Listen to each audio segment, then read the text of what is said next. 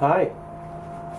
Well, I promised I would uh, make a video of this power hacksaw over here um, cutting steel. Since I don't, I haven't bought any steel for my CNC build yet, I figured I have some scrap pieces of all thread rod that I used for various other projects. It's not really scrap, but it's leftover stock. And this is steel, and it's solid. Sure you can see it from there that it is actually a solid piece of metal.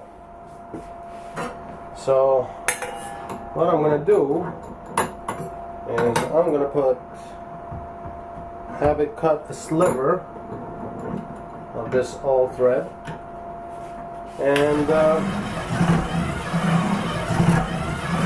there it is. I'm going to use a little bit of lube,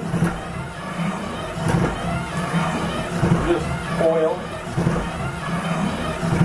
and uh, this thing is going to take its sweet time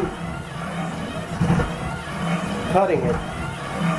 With that said, I'm going to use my old security camera to make a time-lapse video of this and uh, you guys should see it shortly.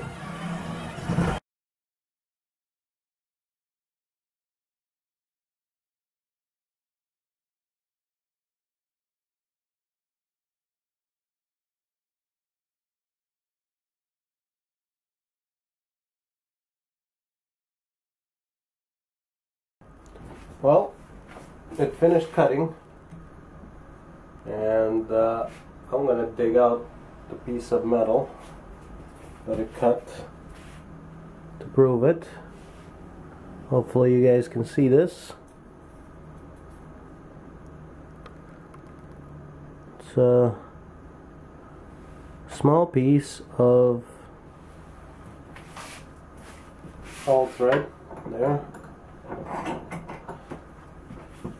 and this is the finish at the end.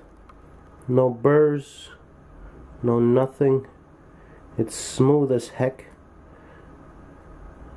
It's nearly a machine finish.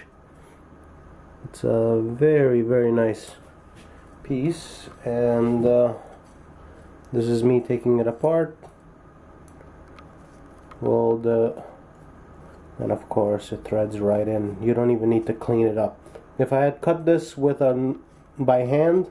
I would have to file out the top of this so I can actually thread it into the thread the nut on it.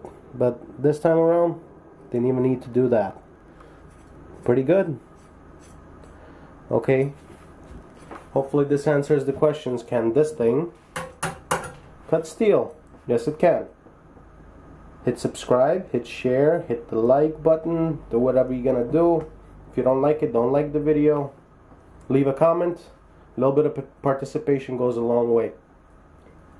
Later.